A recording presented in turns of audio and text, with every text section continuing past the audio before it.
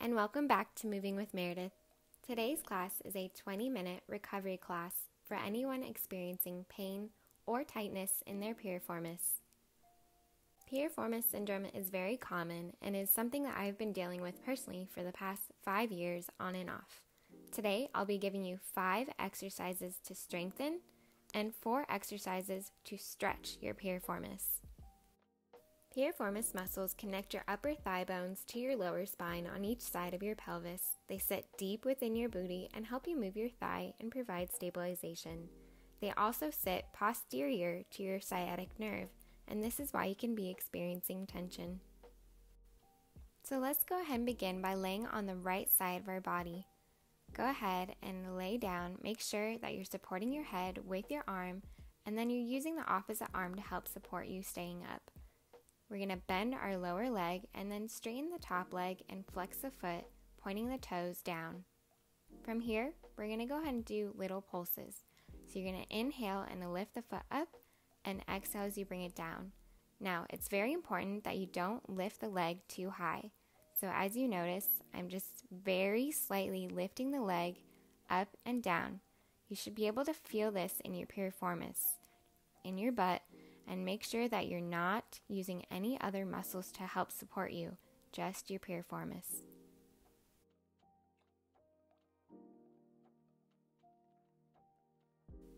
From here, we're going to do another two sets, 10 each. So here we go. Ready? Inhaling up. One,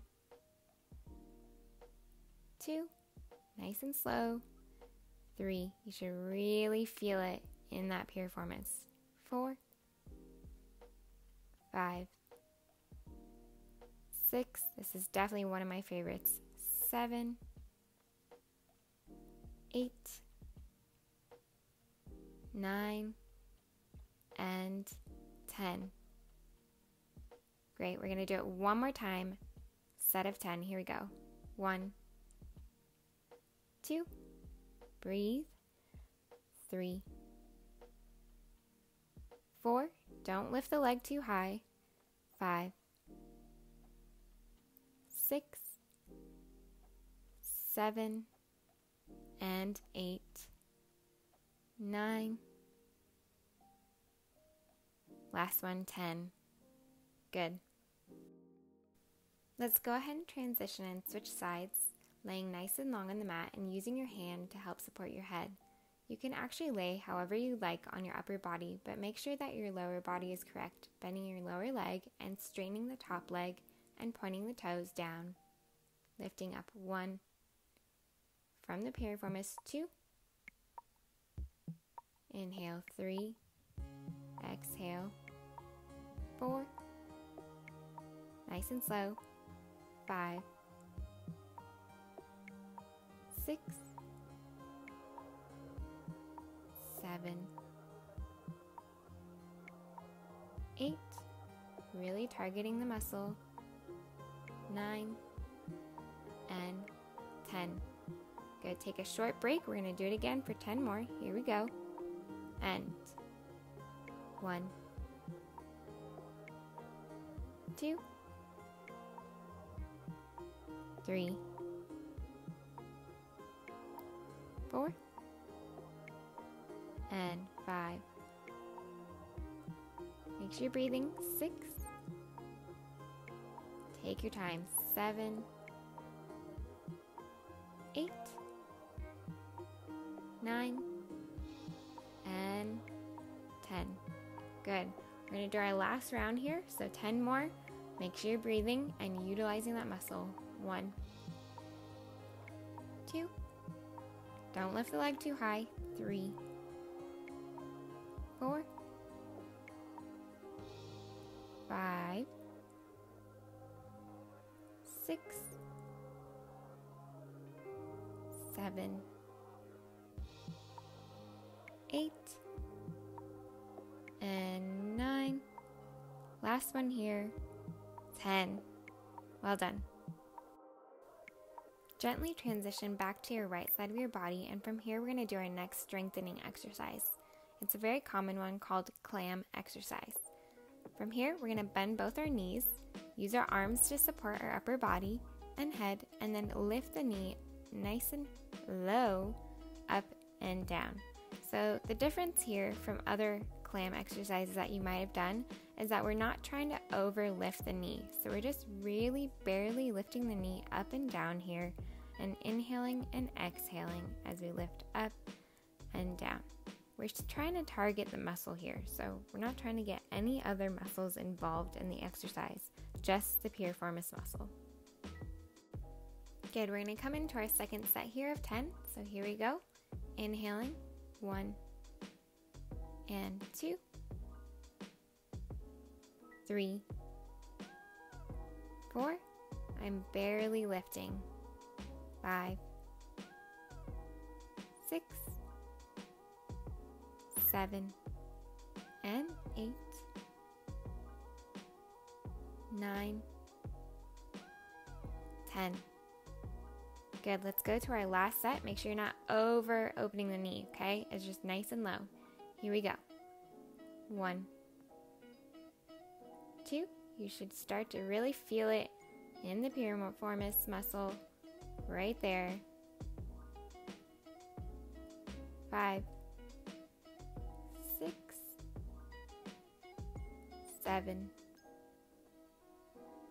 eight, nine, and 10. Good. Relax. Make our way to the opposite side, left side this time. Supporting our head and then bending both knees. And then gradually lifting up and down with our left leg. So here we go.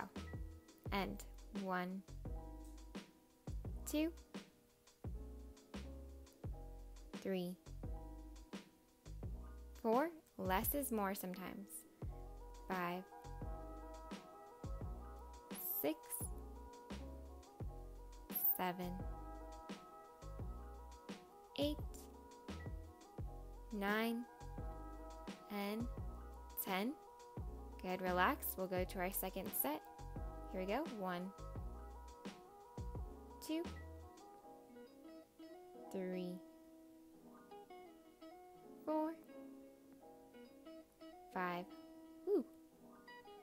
six,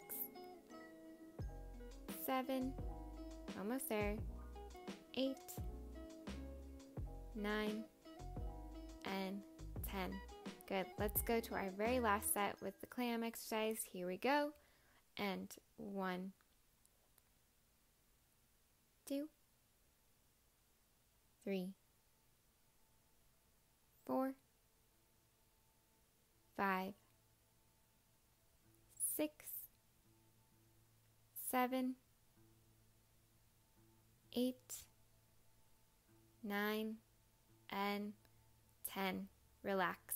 Transition onto your belly. We're going to go ahead and go into our third strengthening exercise called back leg raises.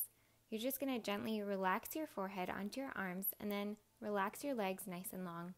From here, we're going to lift and do 20 back leg raises with our right leg. Here we go. One and two Three, nice and gently and slow. Take your time to feel the muscle. Four, five, and six, seven, eight, nine, ten, eleven. 12. You can point or flex the foot here. 13, 14, 15, 16, 17, almost there, 18, 19, and 20. Good, last one. Let's go ahead and relax and then switch sides. So using the left leg this time back leg raises, and one, two, three, four, five, six. Remember, less is more. Seven, eight, nine, ten, eleven, twelve, thirteen, fourteen, fifteen, five more, sixteen, seventeen, inhale, exhale, eighteen, nineteen, last one, 20. Good. Next, we're going to rotate all the way to our backs and we're going to move to our fourth strengthening exercise, which is bridge. Make sure that you're keeping your belly button to your spine here and that you're keeping your legs parallel and you're not splaying open with your knees. So take your time, we're do nice and gently. Exhale as you lift up. Inhale as you go down. Exhale. Two three, and four. We're just nice and gently lifting up and then squeezing at the top. Five, six, seven, really nice and high. Eight, nine, Inhale, 10. Exhale, 11. 12. Good. 13. Take your time. 14. And 15. Last one. From here, let's go into one leg bridge. So take your right leg, straighten it nice and long. You can point or flex. Use your hands on the mat to help you push up nice and high. One, two, three. Take your time. Exhale. Inhale as you lift. Four, five, six. Lifting all the way up seven, eight, lengthen from the top of the spine, nine, and 10. Good, let's go ahead and switch legs. Left leg, here we go. Nice and long. Extend the leg, point the toe, lift up. Here we go. One and two, three, rolling up through the spine, four, five, exhale, six, seven,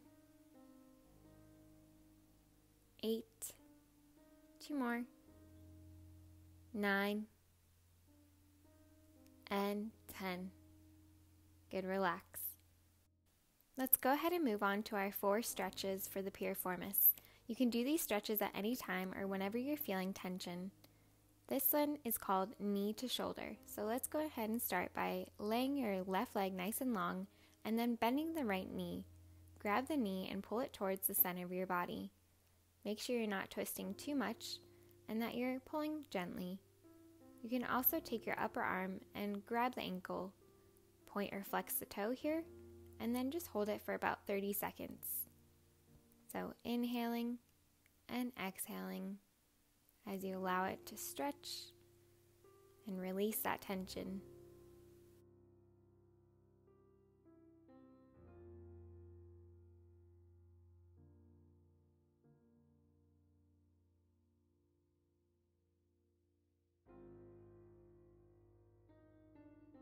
Good, let's go ahead and gently relax that leg, drop it down to the mat, and then switch legs here. So taking your left leg, bending it nice and high, grabbing it, and then pulling it towards your shoulder, towards the center of your body. And then you can also grab your ankle here. So holding this stretch for at least 30 seconds, inhaling and exhaling.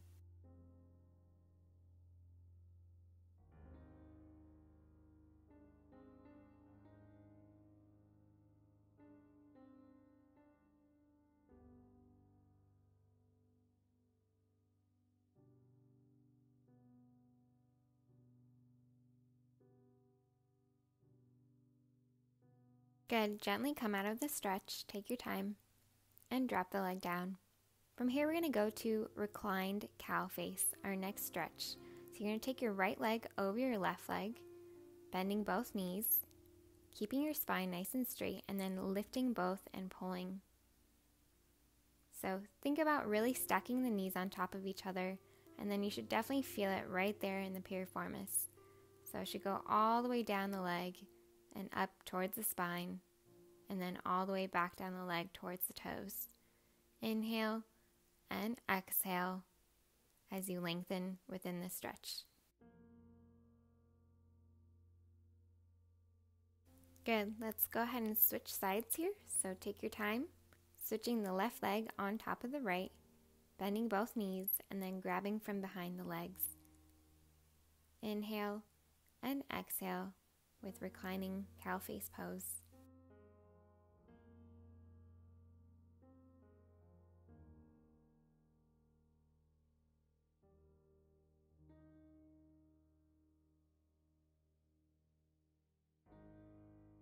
Slowly come out of the stretch and come onto tabletop position. From here, we're going to our third stretch, which is called quadruped position. This is one of my favorites, and it's great to do after running or sitting for long periods of time. So from here, you're going to lift your right leg, bend your knee, and then lengthen the back leg nice and long. Stay up on those hands, and from here, you're going to either stretch nice and tall, or you can even twist your spine towards the opposite hand. So, allowing a nice long line, you should really feel it near your piriformis and all the way down your leg. Good. You can even play around by shifting right and left, whatever feels good, but you'll definitely feel it. Good. And then come back to center. Let's go ahead and shift to the opposite side. So, taking the left leg this time, bending the knee, allowing it to drape over and then extending your back leg nice and long. Inhale and exhale as you twist over to the opposite side. Good. Take your time to play here. You can go twist to the right or left, whatever feels good. Inhaling and exhaling. And then we'll go ahead and shift back to center.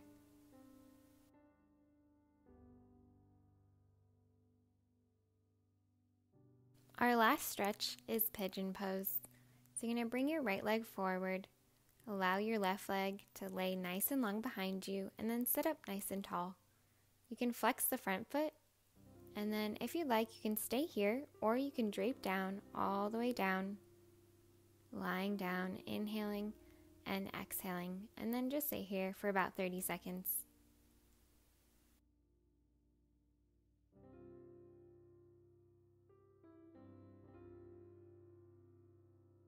Gently walk the hands back up and then take your time to transition to the opposite leg. So, left leg this time, inhaling as you sit up nice and tall, flex the front foot, and then exhale as you drape your body nice and over that leg.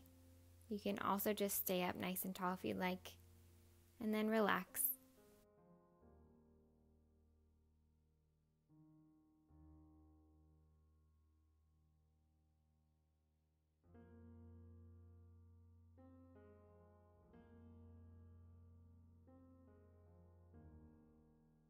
Gently take your time to walk your hands up and come out of the position. And then when you're ready, come to sit. Thank you so much for taking this class with me today. I hope that this is a great recovery class for you. And if you're struggling with piriformis syndrome like I am, these are great stretches and exercises that actually help with the problem. So thank you so much. And I hope you have a great rest of your day. You can do these exercises at home whenever you like. You can do them individually. And then let me know in the comments if this helped you.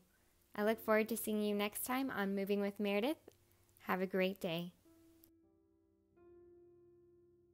If you enjoyed this class, please like and subscribe, and we'll see you next time.